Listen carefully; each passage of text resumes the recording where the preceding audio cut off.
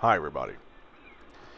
So, with the uh, with the with the finalization of the new stiff ooh, pardon me, stiffeners and doublers and all that, we can now get on to more important matters, which is finalizing, getting everything prepped and ready, and deburred and uh, dimpled, primed, and riveted. So, anyway, in this video, we're going to be prepping everything, including uh, uh, so all the holes have been deburred, which we saw in a couple of videos ago. Had those deburred while the uh, while the skins were mounted up to the rib still. So all, everything is deburred hole-wise. Now we're just kind of doing the edges, which you saw me doing at the end of the last video. And now I'm just kind of finishing up those here. And then we will be dimpling. Oh, but first, so here I'm adding, so I'm adding a little bit of a break.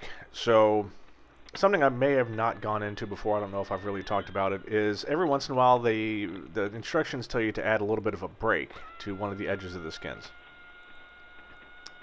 And that includes just basically bending the last, oh, I don't know, a little bit less than half, a per, uh, half an inch of the metal just so that it lays down better, right? So all these skins are going to go on top of the ribs and they're going to attach the spars, but you also don't want them to kind of curl up at the end. You want them to kind of sit flush. So you put like a little seven degree break to that last half inch of the skin. And that's what you saw me doing there with, I've got some three inch uh, uh, seaming pliers that uh, normally you would use for something like um, they're made for basically bending sheet metal, like gutters and things like that, but it works perfectly good with aircraft aluminum. So, a little tool that uh, people haven't seen in a long time. Here's the handy DRDT-2 back out in action. Dimpling away at all the skins. Uh, as always, I'm not using it to dimple every single hole in the skins. I'm only using it to dimple the holes that need the DRDT-2 to be dimpled. That doesn't make any sense. So anywhere that I can use the rivet squeezer, I'm going to use the rivet squeezer to dimple. And you're going to see me pull that sucker out here in a little bit because it's magic. Uh, if you don't have that, then you need, because, you know, because the throw on the rivet squeezer is, what, three inches? Uh, the throw on this thing is much bigger. So this is for dimpling all the middle stuff.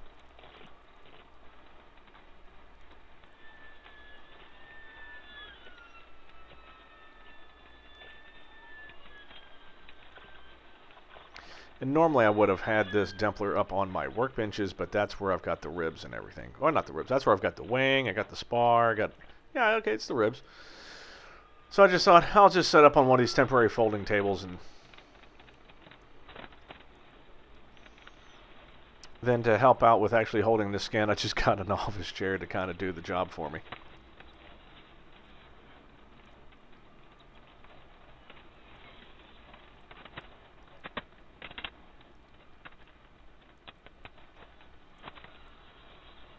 Yep, and so now, so that was all the hard work.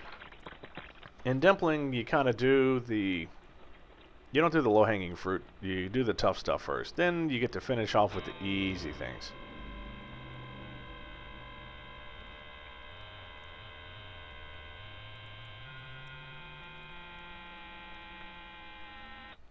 Ugh, yeah, that's not a pain in the ass.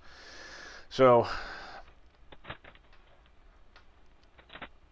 The only thing, and I know I've gone over this before, the only thing I don't like about that rivet squeezer, because it's got the adjustable yoke, is you, you've, you've got to go back and retighten it because it will eventually just unwind itself. As you're pushing tremendously between the two dies, it will just slowly unscrew that uh, adjustable yoke up.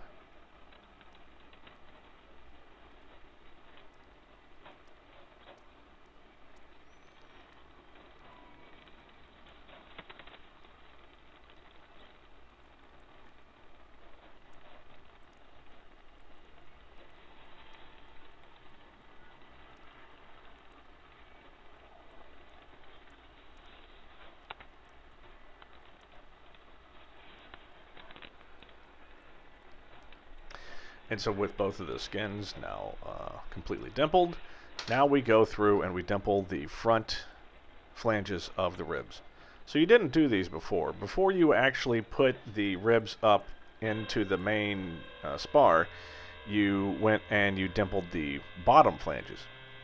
And you didn't dimple the top, and I always thought that was peculiar. Uh, so now is when you go and you dimple the front.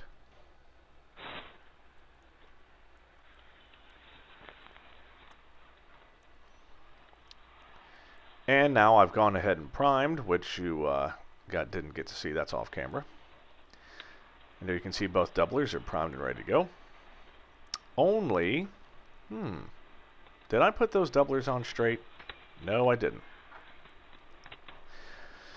So now with everything primed and everything's dimpled, it's go time.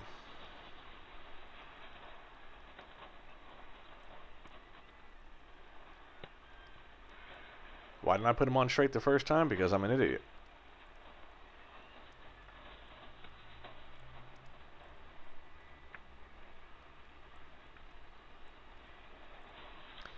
A little note about uh, clecoing the skins and stuff on. This is not the time when you skimp on the clecos. So I think if I'm correct, I bought a bag of 400 clecos, and over time a few have gone the way of the dodo or or have you know broken or just become useless or I've lost them. There's probably like 15 sitting under that bench that you can't find. Uh, you got to use them all. You want to have all of as many points in this skin dimpled, dimpled, sorry, clecoed as possible, because you want that skin to be as tight as you can, uh, especially in the front. So in the front leading edge, what you see me clecoing up there, uh, that's where you actually put that kind of break that we were talking about because you know it's it's kind of curving over at that point. And you want it to be tight and that's the one place where the skin will not bubble but it will uh, it, it, it needs the most secure uh, the most security. It needs the most clecos and so that's very important. Uh, I've got basically my entire bucket's empty. I've got every single 330 second cleco that I've got in the front of that wing and in the next video, uh, me and my buddy Ted are actually going to uh, get on with the riveting of this stuff on. So I will see you soon.